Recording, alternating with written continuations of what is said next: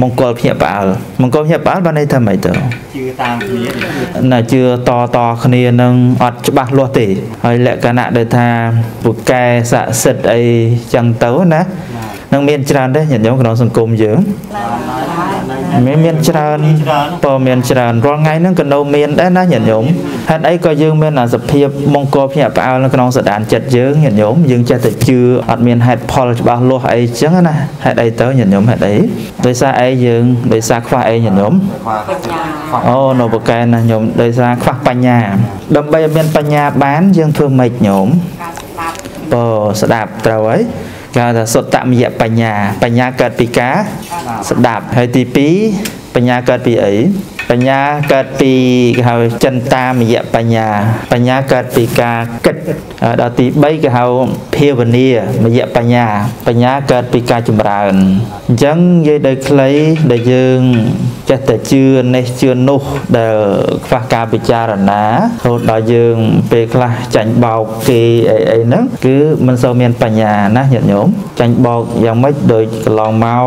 មានគេអាងថាជាដាច់ជួនណាតចាប់ជាតិអីក៏មានណាអ្នកមានបារមីខ្លាំងអីណានេះអីចឹងទៅមិនមែនដូចញោមអីមានសេចក្តីជ្រះថ្លាស្ដាប់ទៅយល់ហើយមកដោយចិត្តទេពេលខ្លះគឺនឹកឃើញថាបើបានទៅជួបមុខជួបអីហ្នឹងពូកែស័ក្តិសិទ្ធបានស្ដោះផ្លុំបានអីអ្នកថាពូកែហ្នឹងឈឺដែរតើញាតិញោមហ្នឹងហើយប៉ុន្តែពេលខ្លះនោះយើងភ័យព្រួយបារម្ភឈឺថ្កាត់អីមិនដឹងថាទៅរកទីពឹងឯណាទៅរកទីពឹងបែបអញ្ចឹងណាញាតិញោមដែលវាមិនមែនជារឿងហៅថាទីពឹងច្បាស់លាស់ទេ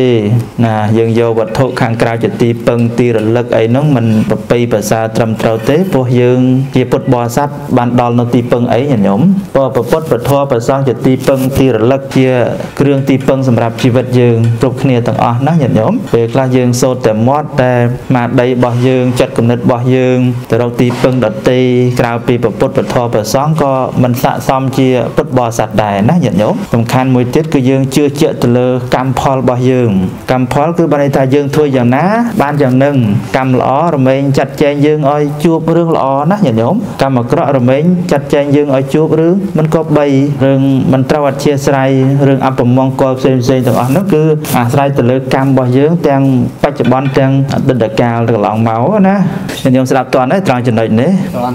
អឺសភាពដែលយើង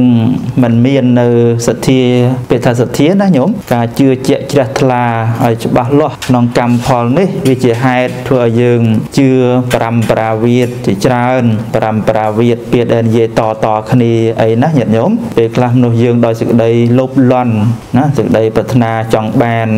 ផលចំណេញអីច្រើនចឹងទៅជួនកាលគេបោកយើង ជាពិសេសញាតិញោមពុទ្ធបរិស័ទយើងដែលមិនសូវ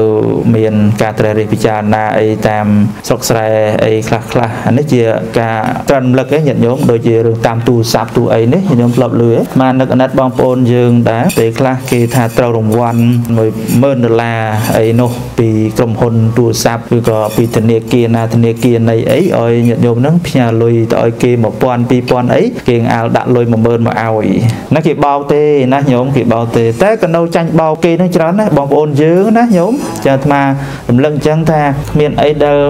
គេឲ្យមកដោយស្រួលស្រួលទេយើងកុំចេះតែជឿណាញោមលុយកាក់ដូចញាតិញោមទៅរំបានមកកាក់ម៉ាស៊ីន1000 2000 10000 20000មកមិនមែនស្រួលណាត្រូវរកស៊ីទទួលទានត្រូវលក់នេះលក់នោះបានបានថវិកាមកណាញោមហើយមិនយើងចេះត្រូវរង្វាន់អីស្រួលស្រួលណាញោមគេចេះតែឲ្យយើងណាស្រួលស្រួលយើងទៅសុំគេក៏ងាយបានគេឲ្យហើយប្រសងទៅរំញោមប្រគិនបច្ច័យហ្នឹងក៏សូត្រធัวមហត់មិនដែងធัวមហត់មិនអញ្ចឹងញោមហើយញោមនៅសុកសុកត្រូវរង្វាន់ណាក៏រាប់ពាន់រាប់ម៉ឺនអញ្ចឹងទៅយើងចាញ់បោកគេច្រើនណាអាស្រ័យអីអាស្រ័យដល់យើងមានអាមង្គលភ្ញាក់ផ្អើលក្នុងសដានចិត្តយើងចេះតែជឿណាណាជឿរឿងដែលថាល្អរឿងដែលគប់អធិស្ស្រ័យយើងអីហ្នឹងអាហ្នឹងហើយដែលយើងត្រូវ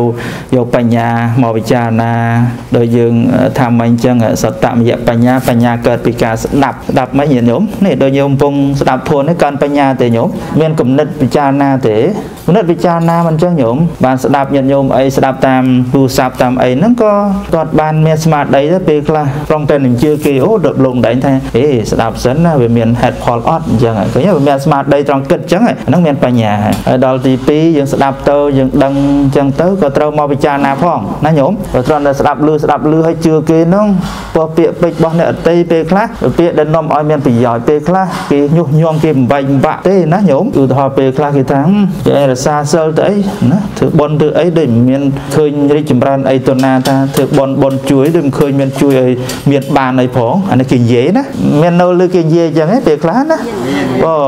មិនឃើញបានអីនិយាយរសាទៅសិលទៅទៅវត្តធ្វើបន់ច្រើនមិនឃើញទៅណានិយាយអញហ្នឹងគេនិយាយដល់ពេលយើងយកមកពិចារណាទី2ចិនតាមរយៈបញ្ញាបញ្ញាកើតពីការគិតយើងស្ដាប់គេអញ្ចឹងមកសួរថាតើវាត្រឹមត្រូវអត់បើយើងជឿត្រឹមតែស្ដាប់ហ្នឹងគឺអត់បានទេវាអាចក្លក់ដល់សទ្ធារបស់យើងអាចលះបង់នៅសទ្ធាដែលធ្លាប់ជឿពីមុនមកអីចឹងណាញាតិញោមហើយអាចគិតថាមិនអញ្ចឹងមែនធ្វើបន់យូរហើយដូចមិនទៅមុខអញ្ចឹងទៅគឺ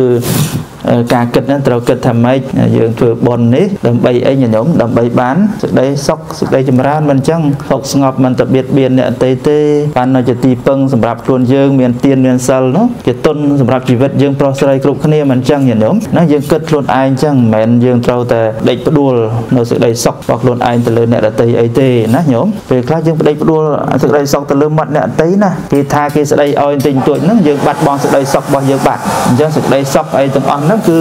នៅលើផ្លូវចិត្តរបស់យើងខ្លួនយើងដែលជាអ្នកបង្កើតនៅសេចក្តីសុខណាញាតិញោមមិនត្រូវពឹងពោពឹងពាក់ទៅលើមាត់អ្នកដតីទេហ្នឹងទី2ហើយទី3ហ្នឹងគឺភាវនាបញ្ញាកើតពីការចម្រើន ចម្រើនយ៉ាងម៉េចញាតិញោមចម្រើន ចម្រើនហ្នឹងគឺតកតួងនឹងការចម្រើនវិបស្សនាចម្រើនសមថៈអីនេះតែត្រូវការស្រ័យដោយយើងមានសតិយើងមានស្មារតីច្រើនបន្តិចតកតួងដូចជាការចម្រើនវិបស្សនានេះយើងត្រូវឲ្យឃើញទៅតាមសភាវៈធัวដែលកើតឡើងនឹងរលត់ទៅវិញជាធម្មតាណាអ្វីៗទាំងអស់គឺអត់ទៀងទាត់ទេណាញោម តែតែងតែប្រែប្រួលវិនិច្ឆ័យទៅវិញជាធម្មតារបស់មានវិញ្ញាណក្តីឥតវិញ្ញាណក្តីគឺរមែងកើតឡើងហើយរលត់ទៅវិញរូបសម្លេងក្លិនរសផតតពៈដែលយើងជួបប្រទះរាល់ថ្ងៃនេះវាគ្រាន់តែជានាមធម៌និងរូបធម៌ប៉ុណ្ណឹងឯងអត់មានអីដែលត្រូវយើងប្រកាន់ជាអត្តាតួខ្លួនអីណាអាហ្នឹងយើងត្រូវហៅថាចម្រើនវិបស្សនាឲ្យមានសតិស្មារតីគ្រប់ពេលគ្រប់វេលាពេលដែលយើងជួបរបស់ដែលជាទីពេញចិត្តយើងដឹងថាគ្រាន់តែជាអិដ្ឋារម្មណ៍អារម្មណ៍ដែលមកប៉ះទប់ទៅតាមទ្វាភ្នែកតិចចំោះអណ្ដាតកាយចិត្តរបស់យើងនឹងឲ្យមានស្មារតីទទួលយកអីចឹងទៅមកឲ្យមានលោភៈអីច្រើនហើយបើជួបរឿងរ៉ាវណាដែលមិនជាទីពេញចិត្តក៏យើងក៏បីពិចារណា ទៅលើអកុសលវិបាកដែលយើងធ្លាប់កសាងអីមកមិនគប់អត់ជាស្រេចអីវាតែងតែជួបប្រទះក្នុងជីវិតរបស់យើងគ្រប់គ្នានឹងទាំងសុខទាំងទុក្ខយើងជួបទាំងអស់ណាញោមសុខក៏ជួបទុក្ខក៏ជួបមានលៀបក៏ជួបឥតលៀបក៏ជួបមានយសក៏ជួបឥតយសក៏ជួបទាំងអស់គ្នាញោមសរសើរក៏ជួបនិន្ទាក៏ជួបធัวទាំងអស់ហ្នឹងមានជាប្រកបដីដែលយើងត្រូវមានសតិមានស្មារតីនឹងហៅថាចម្រើនវិបស្សនាណាញោមចម្រើនភាវនាហ្នឹងន័យថាតម្កល់សតិស្មារតីបានជាប្រកបដីរលឹកនឹកឃើញដល់ធัวរបស់ព្រះសម្មាសម្ពុទ្ធនឹងសូមអនុមោទនា